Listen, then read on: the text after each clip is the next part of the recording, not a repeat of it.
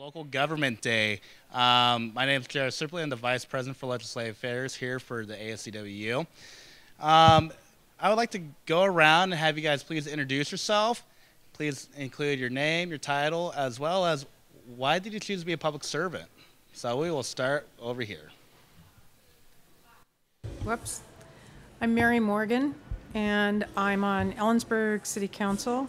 I've been serving for five and a half years. Um, why did I decide to serve? Because I was asked if I would run. And um, I've run two campaigns in that five and a half years because I took a two-year position and then had to run a campaign almost back to back. So, and I discovered I really like doing public service. So it, and I run a, bil- a real estate business full time. So. Thank you.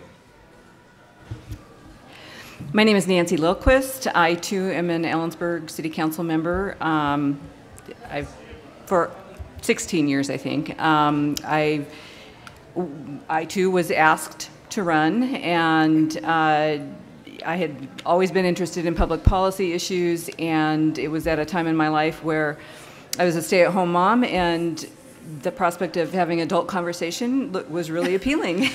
so um, I ran, and uh, I've been doing it ever since. Thank you. Hi, uh, my name is Rich Elliott. I'm with the Ellensburg City Council. I've been serving for eight years. Uh, this will be my ninth, and, and last year on the City Council, I'm going to actually look for something on the hospital board. Um, why uh, public service, and particularly the City uh, Council? Um, I used to be an employee of the City of Ellensburg. I worked for 30 years for the fire department. And uh, when we separated from the city, I had the opportunity then to uh, work with the city. I'm very loyal to the city of Ellensburg and to the employees. And uh, part of what we do from the city council is to make sure that they receive um, reasonable expectations uh, from the community and that we find the resources for them to do their job. Um, so that's one perspective uh, from, uh, for me. So. Thank you. Uh, I'm State Representative Matt Manweller, and so I represent the 13th District, which is where you are right now. That represents uh, all of Kittitas County and, of course, Ellensburg, and but it also goes east towards Grant County and Lincoln County.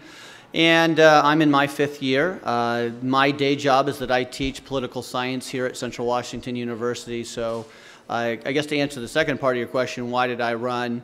I think I think all teachers, uh, teachers or professors, um, want to ch change the world. I think that's why they go into the field.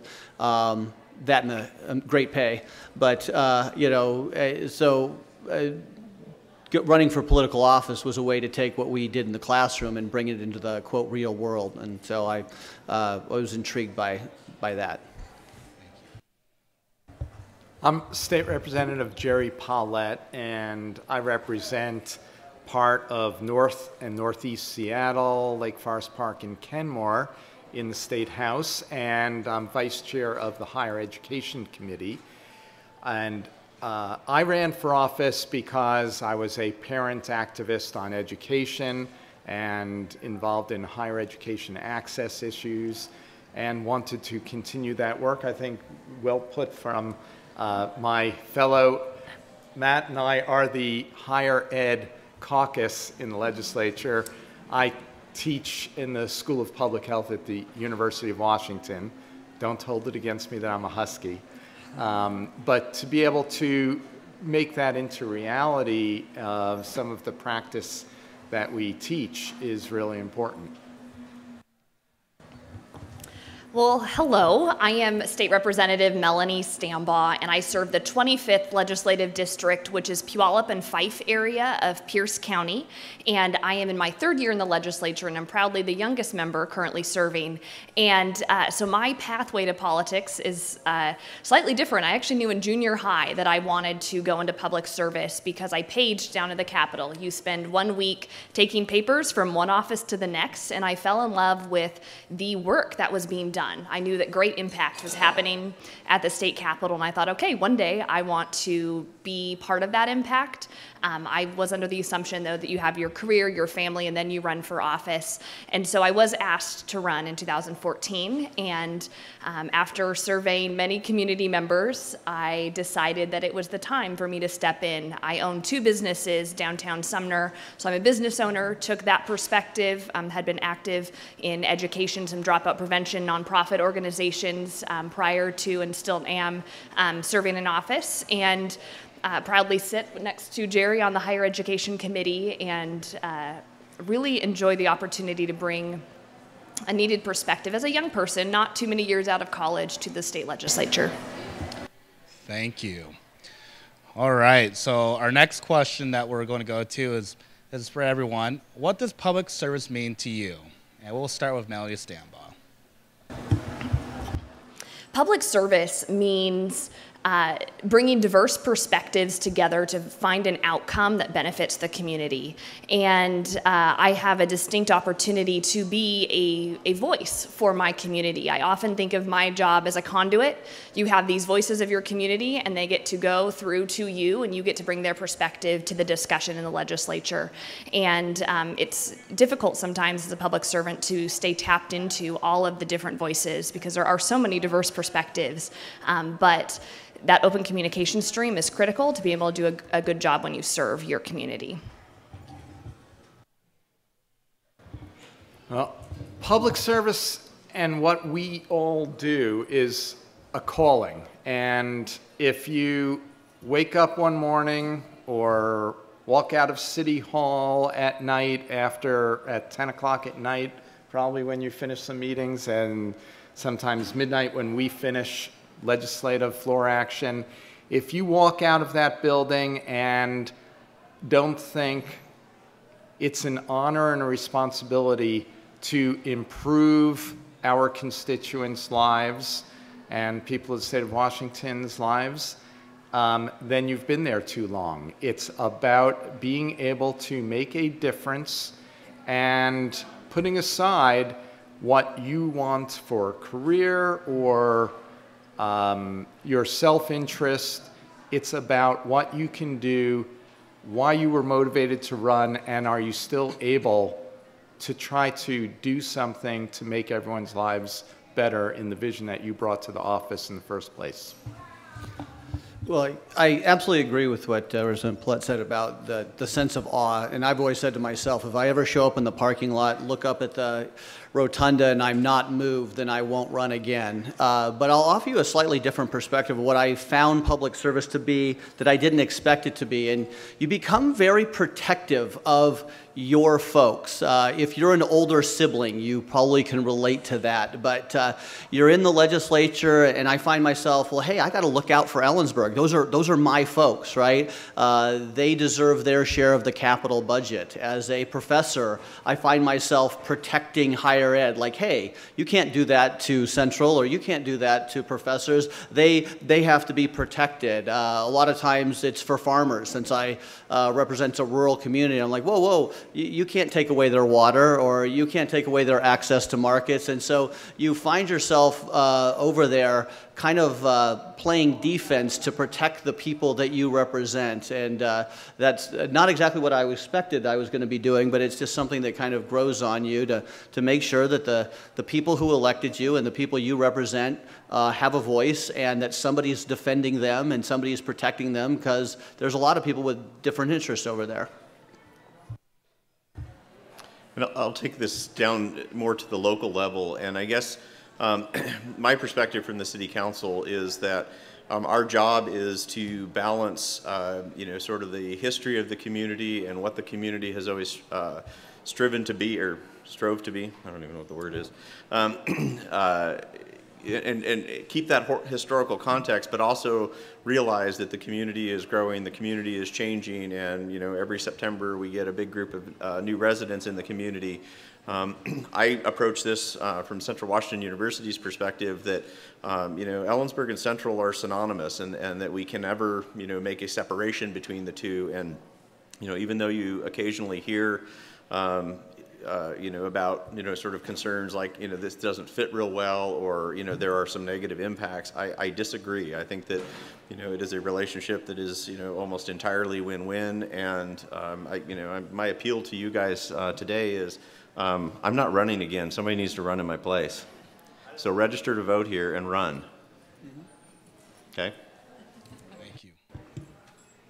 I, I think it's been said, uh, public service is about being actively engaged in your community. It's about um, using my time for the benefit of my community um, and sometimes putting the self-interest aside. Um, I think there's a lot of different ways to serve. Not all of them are elected. Um, eh, you know, it seems like you're doing a public service if you coach a little league baseball team, and and you're you know it, it is a public service. Um, the kinds of stuff that the Rotary Club does uh, to raise money for parks and things in our community. So, but but for me personally, being a public servant means I go to a lot of meetings and I, um, I put time and effort into trying to understand a lot of different issues that wouldn't have never been on my radar if I hadn't been an elected official who had to vote on those kinds of things. So, Thank you. Um, I came into this five and a half years ago, and I am not a young woman. I did not expect to be running for office. It was a shock to me. And um, I'd never run for anything in my whole life before, so I, I didn't even get what campaigning was at first. But in the process of doing the doorbelling I was told to do, I started meeting all kinds of people I hadn't met before and finding out about things they cared about, which sort of surprised me that I would go to somebody's door and knock and they would start talking about why are their dogs running loose or what do we do about the park or what about the people that drive too fast or whatever it was. And pretty soon I found myself being exactly what she said down there at the end. Cheryl? Melanie, that Melanie said, you find yourself being that conduit between the citizens and, and whatever board or council or state legislature you serve on. You're the person that translates that information up or down. And I, I never expected that, and I'm finding it to be probably the most interesting part, is that I get to meet a lot of people. I get to be involved in the decision-making process, but I also get to be involved in it.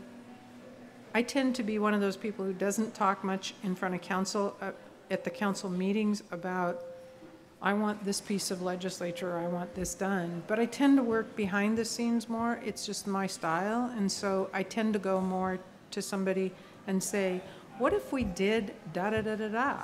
And it's interesting because a lot of times you can achieve things that way. And um, I love being on council. I've really enjoyed serving. It's been a great pleasure to me. Thank you. All right, so this question will go to the city council. Even with the growing economy, college students are still struggling to find work in the city of Ellensburg. Some students had to even travel to Yakima in order to find a job. What work has the city council done to ensure job opportunities for current and incoming students who are looking for a job today? So we're going to actually split these up, and this one's mine.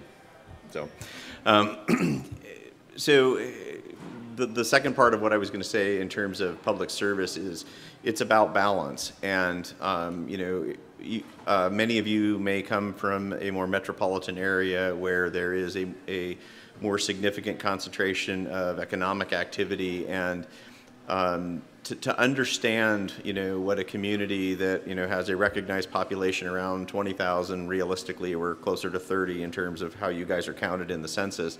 Um, and to understand, um, you know, some of the challenges, it's important to, you know, sort of see that side. And on the flip side, you know, our goal, I mean, everybody on the city council understands, you know, and, and they use this term fairly loosely, but we talk about, you know, family wage jobs and we talk about uh, the ability to attract people who want to live in the community. Because, you know, frankly, being a bedroom community for Seattle, which to some extent we have there, there's a segment of our population that does that, and it's, it's fine.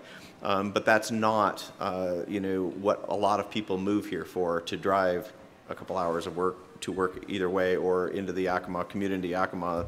You know, you're adding to the commute and, you know, you, you've lost some of the value of living in a community like ours. So we understand that. The city itself, um, you know, if you were to poll the uh, uh, city employees, you know, all the different departments, uh, many of them came to school here. Uh, many of them didn't live here originally, didn't necessarily go to uh, get their early education here. Um, so we know that Central is, uh, you know, one of the, the primary uh, kind of feeder programs into the city staff. And I will tell you that I am, you know, to a person proud of the city staff. I mean, it is what makes Ellensburg work. Um, you know, the community's uh, important as well, but um, so we have internship programs. Uh, we do everything we can to uh, have those internship programs. Uh, when when we match up and we find you know uh, the right candidate, we try everything we can to develop those people and try to keep them in the community and get them into the city. But the reality is, is the city of Ellensburg, you know, has 140 employees and that's you know an insignificant number when you talk about you know what you guys graduate um, out of your each year so it's a combination of you know government job opportunities but also the private sector and encouraging the right uh, kinds of, of growth um, you know to the extent that we can and so you, you know, we know that there are a lot of people here who want to stay here. We know that uh, for some of you, it's about trying to help pay for your education, and that those opportunities are not what they might be, you know, around a larger campus or around a larger community. And, you know, again, um, we're asking you to help us solve solve those issues. Um, you know, come to the meetings, you know, tell us what those suggestions are, because if we hear a good idea, even though we, the, the seven of us on city council may disagree about how to get there, if we hear a good idea, we all agree on what the outcome needs to be, and you guys might have the solutions. Thank you. All right, so this one's to the state representatives.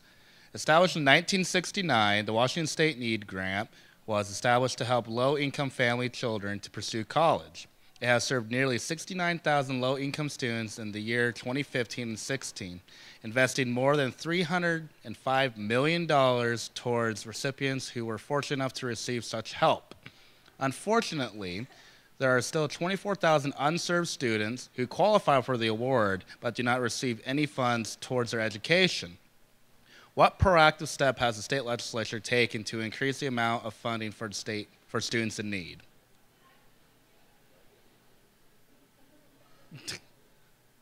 you guys can do rock paper scissors if you want. Well, I'll go high level and I'll, and I'll bring it into state need grant. Um, affordability for higher education is critical. And I know this from not only a policymaker standpoint, but um, I entered the University of Washington right at the, uh, the start of the recession. And so my tuition from my freshman year to my senior year increased 60%. And so I have a lot of peers that didn't get their degrees because it was too expensive or have since come out with more debt than they anticipated because they could not pay for the college. And that doesn't just impact the student then when they're in college. It impacts them for the next 10 years. It impacts their ability to uh, buy a house, buy a car. I mean, it, it has ramifications that are very severe for young people we as a state used to have a model where we funded um, more of state investment and less from a student and family perspective, and that's actually flipped. So when I entered the legislature in 2015, we had many work sessions on what does college affordability look like. Um, questions like how many hours should students work to be able to pay to go to school? What is an equitable amount? Trying to look at affordability from different uh, perspectives. And we did make a significant investment in reduced tuition uh, for all college students for the first time in over 30 years in 2015. Um, that's going to take an additional investment to continue that decrease this year, this budget year. But when you look at state need grant, I think it's very important that we uh, we look to increase the funding for the reason that you have people who are eligible. And right now we're picking and choosing out of those who are eligible who receives that benefit. Um, I don't don't think that should be our role to pick and choose who of the same eligibility requirements get that, that funding dollars um, because we know that impacts so many people's lives who do receive those state need grant, um, that grant funding. It is, however, from a budget perspective, very difficult, um, especially in a year where we're focusing significantly on K-12 invest, investment because the courts have said we have to we have a basic education obligation. So we are balancing many different pieces. Um, but my heart's desire as a legislature is that we do not strap our higher education students with increased tuition load um, because I know personally what that feels like. Thank you. just jump in. So this is the call to action. Um, right now, as you probably all know, we're in a special session because we don't have a state budget. And we will shut down the government uh, July 1st unless we have a state uh, budget. And the House has passed a budget that includes a freeze on tuition and includes a very big investment in expanding uh, the state need grant and the number of students who will get a state need grant. The Senate does not do either one. And if you want a tuition freeze, and if you want a state need grant uh, expansion, it is vital that you talk to legislators, and whether you're right here in this district or where you may have lived previously, or you may be registered to vote, um, mobilize the Washington Student Association, because basically this is going to be decided in the next 30 days. And the negotiators are sitting there right now and going, What am I hearing? Hmm, the wind isn't blowing for freezing tuition. I'm not hearing a demand for that. Where's the demand for state need grant to be expanded? It comes from all of you, and it doesn't come, unfortunately, from powerful business lobbyists with large lobbying budgets. So you've got to be the people mobilizing, and we're accessible as legislators. Um, you send an email and say there are four students or four alumni or two parents and two students who would like to have coffee next Saturday at Starbucks with one of us, we'll be there. So now's the time to make your voice heard. And if you don't, we are likely to end up making investment as required by the court in expanding support for K 12 education. And then when you graduate from high school, we just cut it off. And that's unacceptable. You've got to have a pipeline of access that ensures that as we expand success in public school, we make sure that you have the opportunity to continue on with certificate or a college degree because that's what's needed to change the opportunities in your lives. Thank you. I'll let you go to the next question. I'll weigh in on the next one. Thank you. All right, the next question is for our city council. Um, with CW's enrollment growing rapidly and, and steadily increase of the numbers of students of color and students from marginalized areas, what steps has the city of Ellensburg pursued in order to create a welcoming and more inclusive environment, more inclusive community? That's my question of the group. I'm going to try not to put my foot in my mouth. Sometimes I can do it really good. Um, I've lived in Ellensburg 19 years. I um, moved here from the San Juan Islands. And when I moved here, I thought, oh gosh, I've ended up in another community that's not very diverse. And it, and it kind of disappointed me because one of the things I was looking for was a more diverse community. There has been a huge shift in this community in the time that I've lived here. I've really seen it change. I see, I look around the room here and I see a lot more people of color that I wouldn't have seen 19 years ago. That pleases me. And I, and I think the other thing that I've seen change in this community is, on the whole, at least from the constituents I deal with, I would say that there is a huge move afoot to be more inclusive of people of color and of diverse backgrounds. when, when the horrible things were put on car windshields and stuff like that, and that started, what, last summer, I, I have to tell you, it was a shock to me. I, I didn't, I just didn't know there was that part in our community. And what really pleased me was how rapidly it blew up and how rapidly people in this community said, not here, not in my Kittitas County. And I, and I really see that being acted on daily in my community. And I'm, and I'm proud of Ellensburg, and I, I think we are trying, and I don't, as a city, we are trying. We try to include people. We try to do active things. We made, we as a city council did one of the first um, proclamations that was done in the state to say, not here, you're not going to do this. And we also do, I mean, we, we sponsor things within the community. We do the Bite of the Berg in the fall. And, and I've noticed that, that within the businesses that I trade with, I see a lot more diversity of the people coming in. I think they feel comfortable. I think they feel safe, and that's important to me that people in my community feel safe and don't feel threatened. And quite honestly, if any of you feel unsafe in my community, I'd like to know it because I can help with that.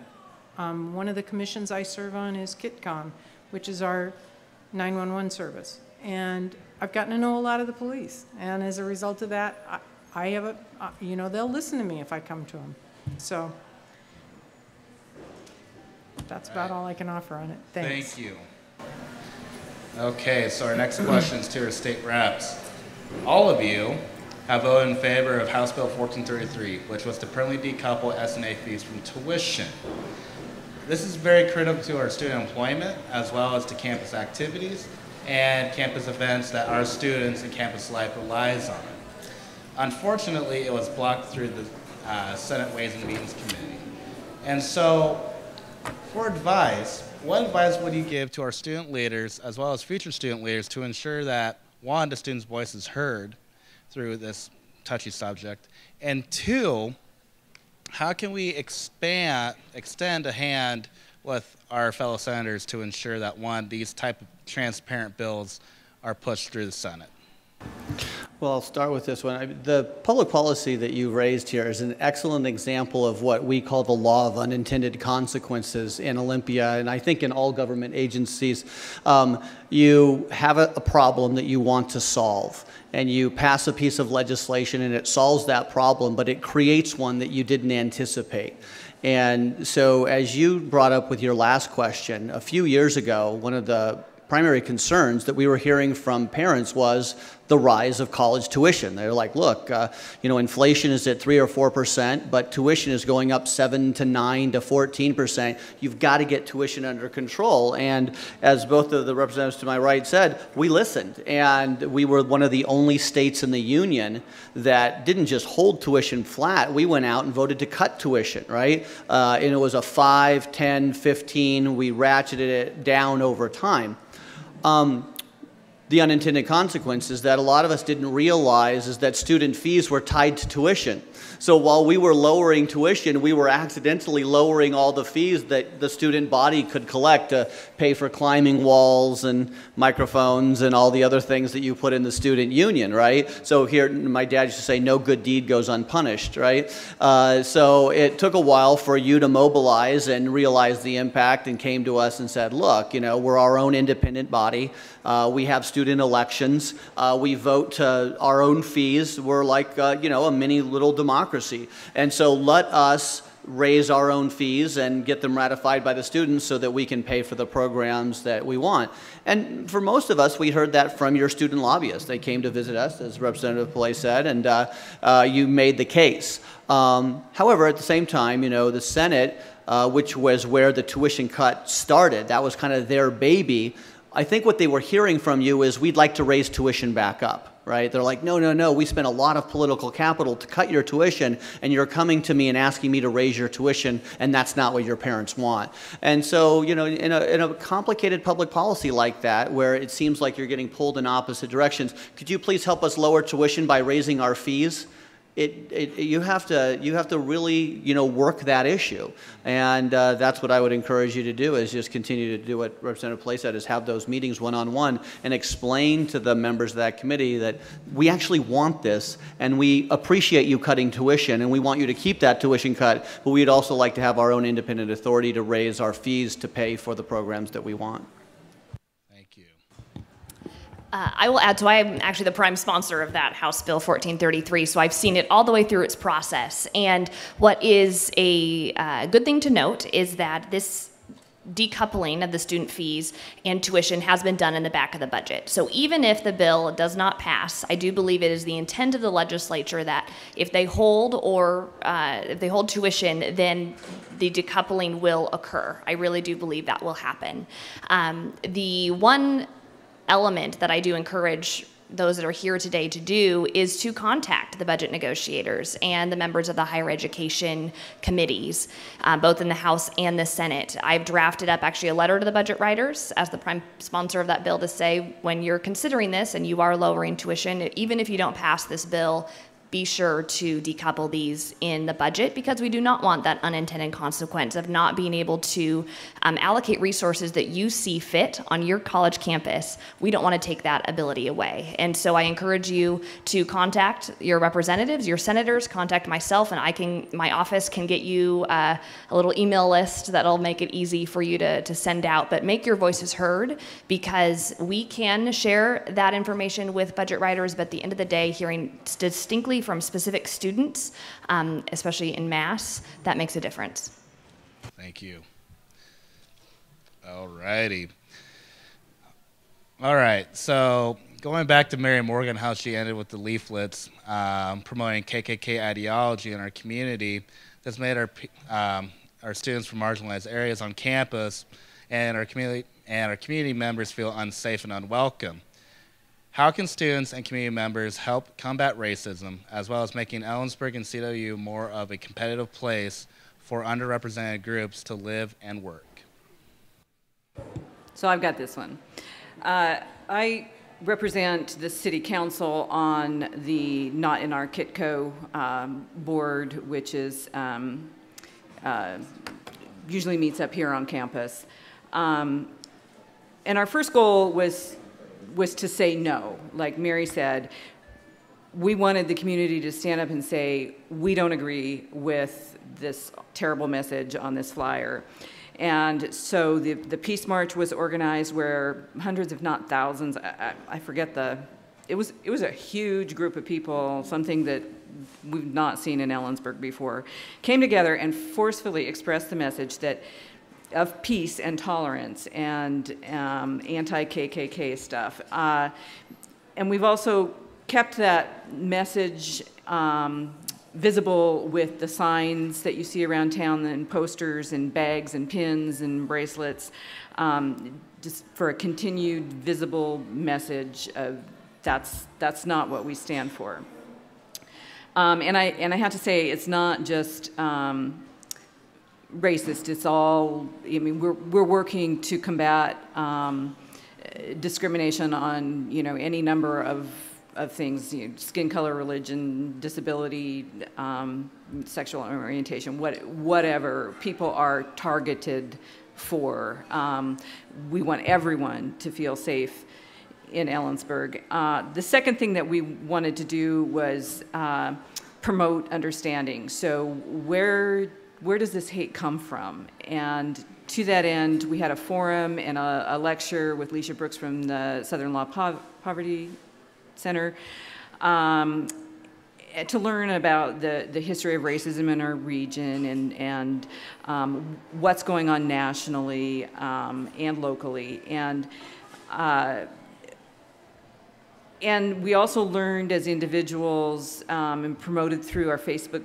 page, the Not in Our Kitco Facebook page, um, what we can do if we witness someone who is being verbally assaulted um, because of whatever um, difference someone might perceive. Um, learning how to intervene and stay safe. Uh, and we've also tried, as the Not in Our Kitco group, um, to encourage people to talk to each other and overcome the fear of the other, which is seems to be the root of, of where this stuff comes from. I've also felt that in order to feel safe in Ellensburg, you have to know that the police are there to protect you. Um, the what we hear nationally going on and what you may have experienced in your own community, I hope you don't bring that to Ellensburg. Um, our police force is well trained, and, and as a city council, this is this is where we can do something. We can make sure that that our police officers have the resources and training to do their job, and that they get the message from the top that we're not going to tolerate any racism among our uh, rank and file police officers. That, and if someone has an incident, that it's investigated. And uh, so we've, you know, there is more transparency. I've, I've asked that um, in the police department's annual report, they start publishing um, the use of force statistics and internal investigations. What you know, how many complaints are there, and do they get investigated? And they do. Um, our police department is accredited, which is um, I, th I, think the statistics out of 300 and some police office, police departments in the state of Washington, we're one of 60 that, that have gone through the process to review our policies and procedures and make sure that um, we're, uh, we have the highest accountability. Um, but I also would like you, like Mary, if you have, if you perceive that you have a problem with an officer, um, I would urge you to report it. Um, but I, I want to caution there's there's several different police departments in there's the the campus police and the city police and the uh, state patrol and um, sometimes it's confusing you know which officer it was what department they belong to. Uh, but if you report it yeah in the county sheriff if you report it, if it's an incident that was called into KITTCOM, KITTCOM can trace it and we can sort that out. So um, I, but it is important. We can't fix a problem we don't know exists. So if you know there's an incident, you need to report it. Um, I do know also that the um, there is an effort uh, among se several groups, including the Chamber of Commerce, to um, work with local businesses to encourage good customer service that, in, that includes um, diversity training. Um, and you know that um, that's kind of an emerging thing. We don't have that in place yet, but but it is is something that that folks are working on. Um, but I think in the big picture, we have to remember that that there there's a constitutional right to free speech. And um, it's, it's sometimes the, the line between just kind of hurtful speech and, and hateful speech and crossing the line to illegal actions that are based on hate, that it, it's, it's blurry and there's a, there's a gradient. So um, and I want to say that there was one person who anonymously distributed some hateful literature, and thousands of people came out and marched for peace. So, you know, what are you going to remember about what what is Ellensburg about? I, I hope that that it's the the energy of those thousands of people and not the the one person who spread fearful fear in the community because for whatever reason. So um, I'll, I'll leave it there because I think Thank you want to move on. Thank you. All right, the state representatives. So a tuition that had a historic cut this past year by 15%, I believe. Um, there was a Senate bill that was passed last year as well from one of your guys' uh, co-workers, uh, Senator John Braun, who sponsored the bill. Can't remember what bill it was, but anyway, that gives each college the autonomy to raise tuition by 2.1 percent. And so, the issue that students are having again, you know, you cut tuition, and then all of a sudden, it's the fear that's going on right now with the student body is that it's slowly creeping back up to where it is. And so, how would you, for one, combat that, or basically give advice to students on how to basically, you know, voice their concern again, voice your concerns as well to you about that.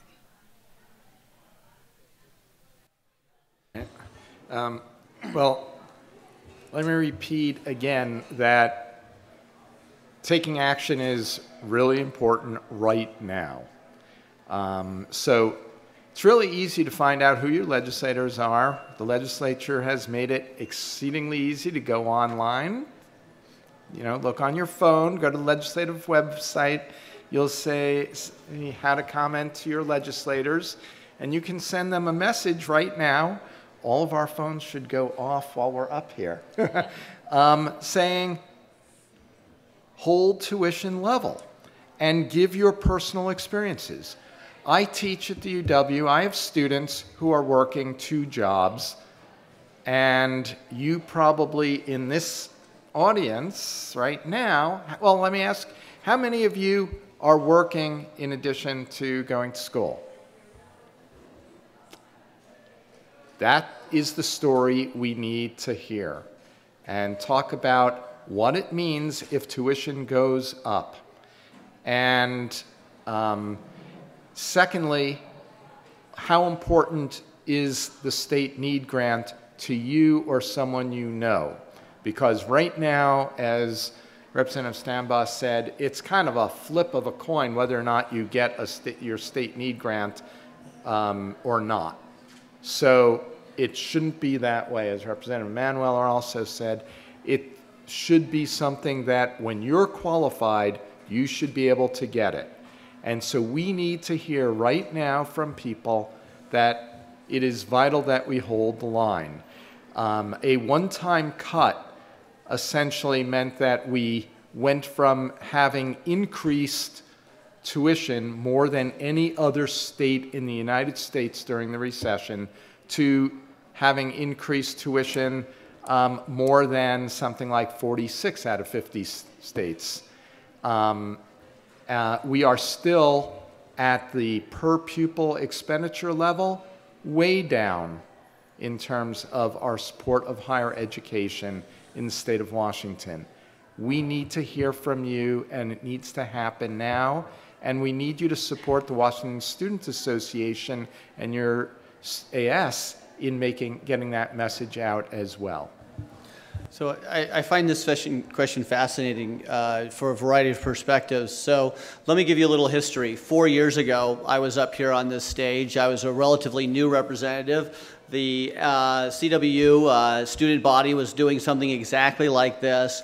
And to a person, they all came up to the microphone and said, please do not cut tuition.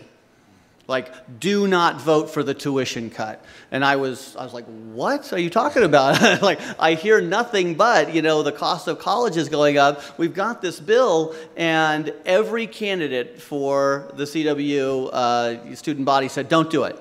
And I was like, well, why? And they're like, well, we don't want our programs cut. We don't want to lose our favorite professors to other institutions. We don't want to lose the second floor of the sub and all the programs they had, stuff. So, you know, one of the things we did is we did cut tuition, but we did something we called backfilled it, right? For every dollar of tuition we took away, we just took a dollar out of the general revenue budget and, and replaced it, right? So your tuition went down, but the funding of the school did not, right? Uh, but then I'd also kind of go back to what uh, um, Councilman Elliott said about civics is about balance, right? Uh, Representative Pollet asked you how many of you have a job, uh, and you all raised your hand. Let me ask you another question. How many of you voted for the initiative to raise the minimum wage? Okay. Well, do you think that CWU has minimum wage employees? Well, this year, uh, the associated students and all of, the, all of the six campuses came to us at the legislature and they said, we need $68 million. And I was like, well, why do you need $68 million? And they're like, well, we have to cover the costs of the minimum wage that we just voted for. And uh, given all the student employees who work in the dining and the dorms and all the other computer labs, we need $68 million. And they're like, well, do you want us to cut tuition now? And they're like, well, not really. You know, we don't have enough money to pay the minimum wage for $68 million. If you cut tuition, we're really in trouble.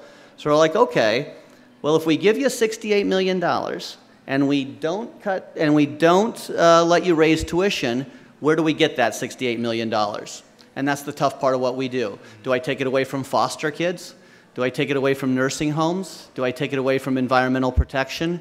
Do I take it out of the pension plans for police officers and firefighters? So we live in a world of finite resources.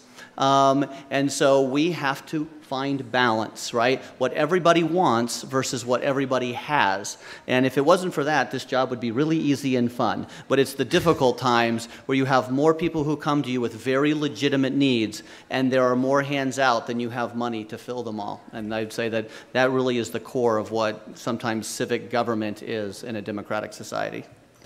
Thank you. All right. Melanie, you got anything? Okay, awesome. Um, anyway, I'd like to open this up to the crowd. If any of the audience members have any questions to ask both state representatives and or council members. Okay. I have a plug to follow up for the economic piece because I was supposed to do this earlier. Um, there are a number of, uh, maybe they're entry level jobs in some ways, they're also family wage jobs um, in our community that uh, we have been struggling for years to fill. And uh, uh Councilmember Morgan mentioned uh, the 911 Dispatch Center. Uh, KITTCOM, we're short people. we need qualified applicants. Um, and I know that corrections is constantly looking for people.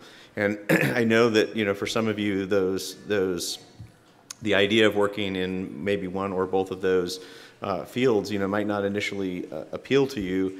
But I also would, you know, challenge you to kind of look at it and look at it from the perspective that, you know, while there may be, you know, some stress or some negative connotation for, you know, some people working in those industries, there are also uh, places where you can make significant difference um, in a local community. You can gather a skill set that if you choose to move on to a different industry or a different community later, we would hope not.